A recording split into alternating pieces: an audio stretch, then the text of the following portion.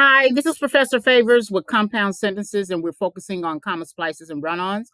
And when we have comma splices uh, and run ons within a sentence, we're looking to correct that sentence.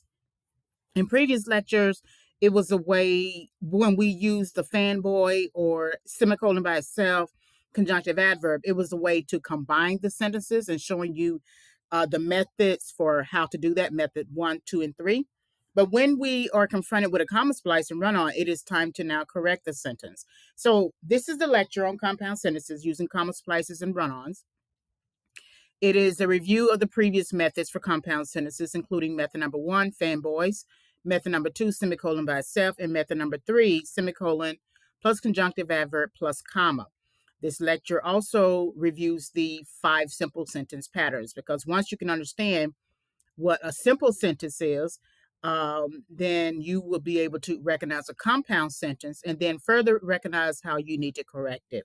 So these lectures correspond to the practices, assignments, and quizzes, um, and they are taken directly from the course text. So, review of five simple sentence patterns. You can find this discussion on pages 29 to 36, and then also on 41 to 45. So, the simple sentence is defined as a sentence that houses a subject and a verb that makes sense without any additional phrases or words. A simple sentence is called an independent clause.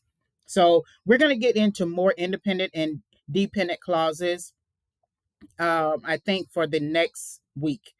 So Tom threw the ball, John ran. Again, we don't always know why they threw it or why he ran, but we do understand that it is a sentence. It is a simple sentence and it is a complete sentence in terms of uh, a subject and a verb, and it um, making sense. However, it is not always a complete thought because we don't know why Tom threw the ball, and we don't know why John ran. So these two sentences are considered independent clauses and make sense apart from adding other words. Subject of the sentence is the who or what that performs the action. Then the verb of the sentence is uh, a word that shows action or links the subject to verb to other words that describe or identify it. Okay, so then a phrase, a group of words without a subject and a verb. Then clause, a group of words with a subject and a verb. So uh, the dog is sleeping, that's a very simple sentence, and it's also an independent clause. However, after the class ends, if you read that aloud to yourself and stop, you will hear that is it that it is actually um, a dependent clause. So then it functions also like a fragment. Um, when you understand a simple sentence as functioning as an independent clause, it is easier to detect what might be a fragment or a dependent clause. So always remember that the dependent clause works like a baby, the independent clause works like the mother. So the mother does not need the baby to function as a full adult. However, the baby does need the mother in order to function, to receive food, to to receive changing, um, and just to be uh, mothered or receive caregiving. So sentence patterns, remember there are five simple sentence fa- uh, patterns, subject verb, compound subject verb, subject compound verb, compound subject compound verb, and then verb subject verb compound subject. So remember when you are trying to determine what is the subject of a sentence when you have it in the reverse verb subject, just look for the subject of look for honestly the verb of the sentence and then you'll know how that is conjugated in terms of singular or plural uh, to determine what the subject of the sentence is. So if you look at where are shoes, where are your shoes? Did you eat the cake? We understand that are is the verb of the sentence, and so therefore shoe and and it's in plural form. Therefore, shoes is going to be in plural form. Okay. And then eat would be the sub uh, would be the verb of the sentence that comes before the cake, or cake is the uh, subject of the sentence. So eat is in singular form, cake is in singular form. People got tripped up, and sometimes I get tripped up too because um, when I look at this sentence, "Did you eat the cake?" I want to use I want to use did as the verb of the sentence, and it's in, and, and it's in a past tense form, but it is not the verb of the sentence uh, for this. Um, sentence just because it is preceding a subject. Eat and cake are are connected in a sense, right? Because you are eating the cake. And so therefore the the verb of the sentence is going to be eat, and then the cake is um, um, the subject of the sentence. So remember, what is performing the action? And then we have identifying the pattern. So uh, the man jogged, the man and his dog jogged. This sweet potato pie tastes and smells. A Mazda, a, a Chrysler, and a Volkswagen were. One of my favorite stars uh, movies is Star Wars. There's that uh, verb subject um, type dynamic. And then the neighbors cut, weeded, mended. And then he and I ran and swam. And of course, understanding the subject of the sentence, the remake of Grease was the Supreme Court makes the fourth Thursday in November is the fourth um, Jennifer and Cameron like several exchange students from Europe are. And then here are your jacket and hat. And we understand that jacket and hat is the subject of the sentence. Therefore, the verb is going to be plural, are, A R E. Okay. So then compound sentences method number one that can be found on pages 47 to 40, uh, 47 to 53 in the course text. We understand that compound sentence is defined as joining two or more simple sentences, which are independent clauses with a coordinating conjunction, a semicolon by itself, or a conjunctive adverb. Okay. Uh, so we here's your pattern here, comma, comma, plus fanboys, right? And then uh, here's the uh, sample uh, table. So, and it's based upon Lynn likes to eat pickles. And then when we want to combine sentences, so the main sentence that would be connected to Lynn likes to eat pickles is, but she does she does not like them on her hamburgers. So if we look at the contrast of the sentence, even though she likes pickles, she doesn't like them on her hamburgers. That's looking at a contrast, right? So wherever you are placing the comma and the fanboy is the same place you're going to place the semicolon and then the conjunctive adverb. And however in this sentence for this context works like but and but works like however. Okay. So you don't need to get creative. What you see, wherever you place that first comma in between the two independent clauses, that's where you are not going to um, correct the sentence. Okay. And so then these are your patterns again, method number one, method number two, method number three.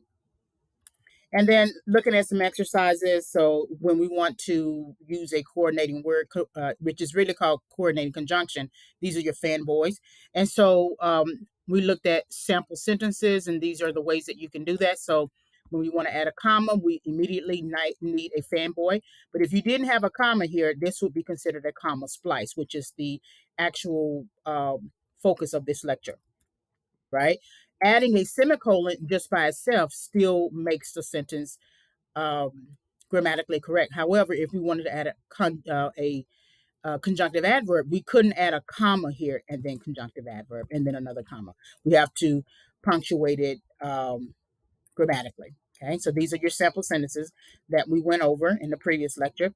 Then semicolon by itself, understanding, uh, you can find this on pages 57 to 59.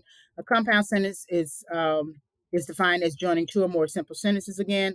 When you want to add two simple sentences that are closely related, but you do not want to add a period, you can use a semicolon by itself. Essentially, anything on the right side of the semicolon just adds more value to what is on the left side. So uh, we're we're looking at a contrast here of two different people and two different types of animals. One is a dog and one is a cat.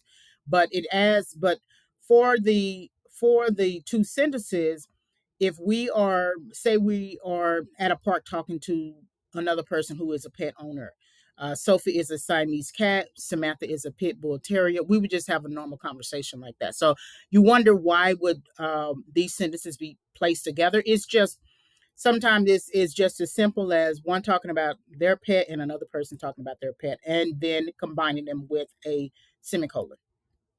So we look at um, methods. So your book is on the table, your pencils are on the floor.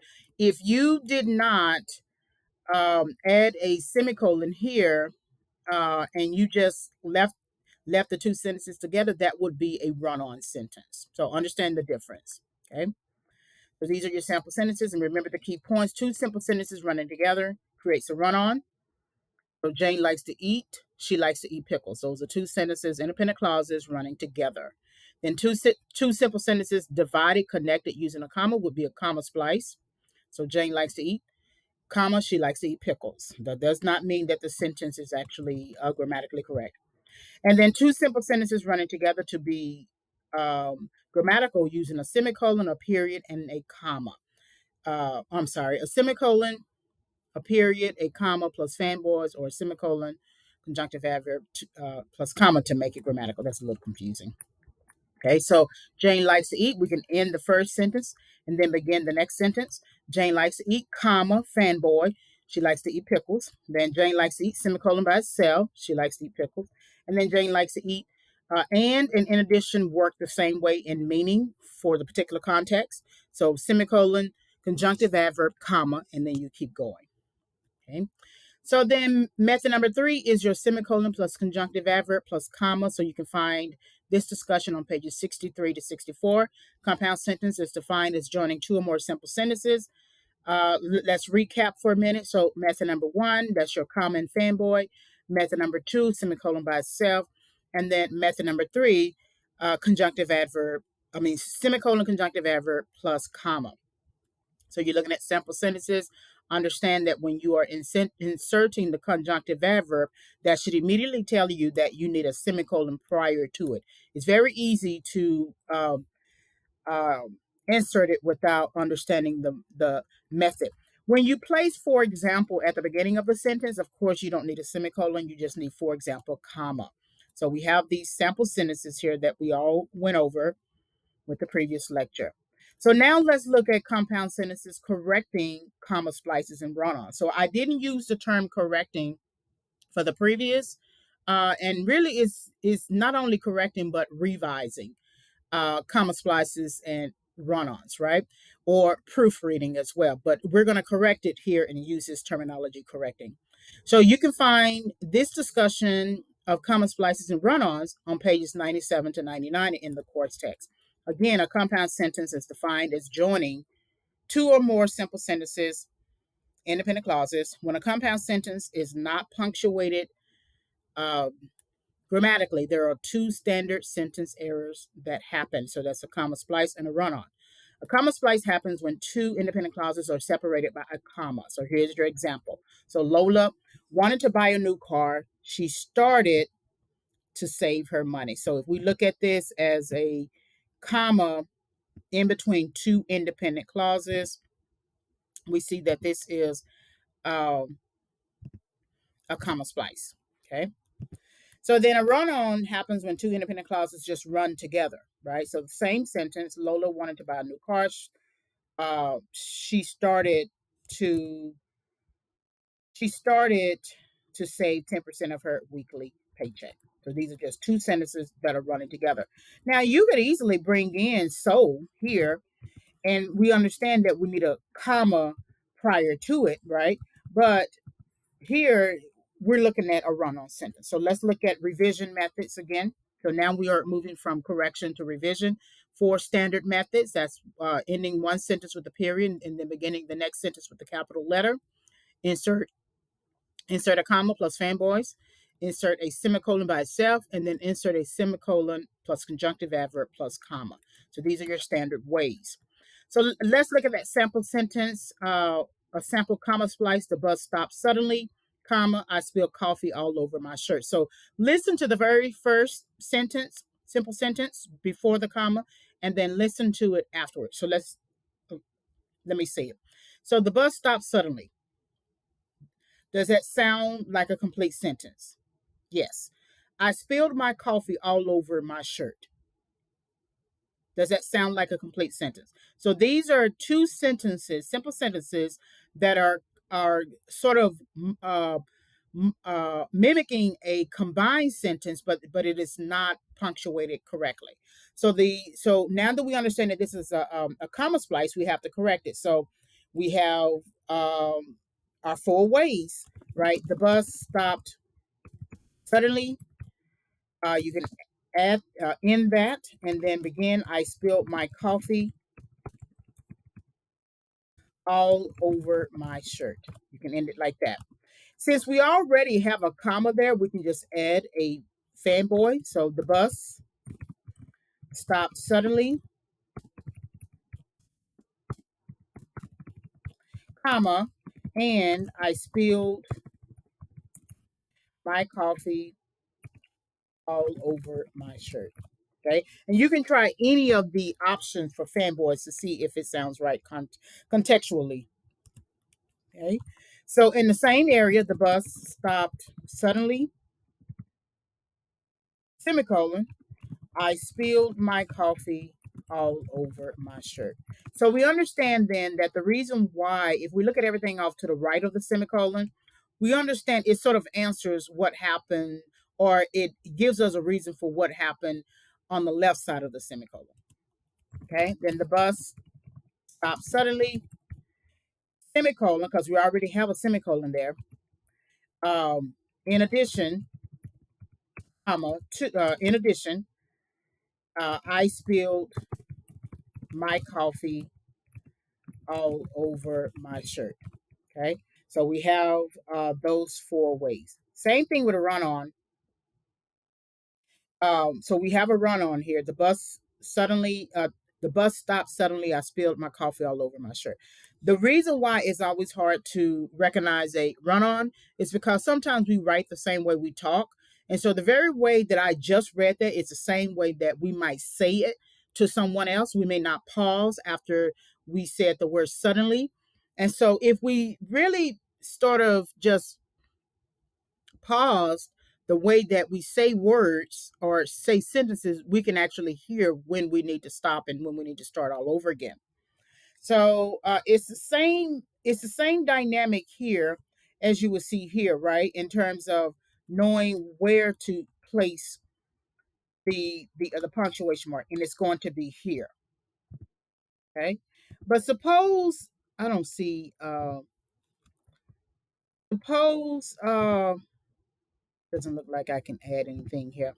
Suppose the uh, the sentence um, began with she, right? Say, for instance, we started the bus stopped suddenly. She spilled spilled her coffee all over my shirt, right? So then we know that once we end one sentence, we have to begin another with a capital letter. letter. All right, so let's try that. So the bus stopped suddenly, period, capital letter. She spilled her coffee all over my shirt, period. Okay, the bus stopped suddenly, um, comma, and she spilled her coffee all over my shirt. Okay, so that means we are we are suggesting that that the initial sentence still had it as a capital letter, right? Or yeah, the uh, the previous sentence here, right? So so uh, what if uh, it was a lowercase, I mean a capital letter? Then um, so we started with this sentence here. The bus stopped suddenly. She spilled her coffee all over my shirt. And we wanted to combine these two sentences, right? So let's just do something with the fan fanboy. The bus stopped suddenly, comma, and she spilled her coffee all over my shirt. Okay. It depends on where you are placing not only the punctuation mark and what you do with the next sentence. So just going back, this is a run on sentence, right? It says uh, sentence uh, sample number one. Okay.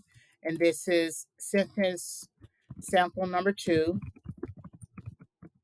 Okay. And so we looked at adding a period. Okay. And then adding a fanboy. So we have a period here. And then we have a fanboy here, a fanboy here. Okay. And then if we are are changing a sentence, say for instance, it began with the capital letter, then we would need to be sure that every part, unless it's a person's name, is going to be um, grammatically correct. Okay. So then, if we're still with the same sentence, the bus stopped suddenly semicolon, Then lowercase she or s and she, she spilled co- or uh, her coffee all over my shirt. Okay, so semicolon, and then of course the the you would lowercase the s in that that she because it began as a sentence that was originally with a capital letter if if it was like that and then the last option the bus stopped suddenly semicolon because we already have a semicolon. In addition she spilled her coffee all over my shirt. Okay? So then of course that correcting correction is going to spill is going to include not only the semicolon, the conjunctive adverb, the comma, plus that she that you see the s in the she. This only works if if she is at the beginning of the sentence, right? If Robin was at the beginning of the sentence, of course we would not lowercase Robin's name. Okay, that that's a personal pronoun, um, personal noun rather. Okay, so we have a period we have a fanboy, we have a semicolon by itself, and we have a conjunctive adverb. Okay, so these are this is the lecture, compound sentences, comma splices, run-ons, uh, for how to correct them when you are confronted with them. And the best way to know is just to kind of read the first independent clause by itself and then read the next one by itself. All right, thank you for listening.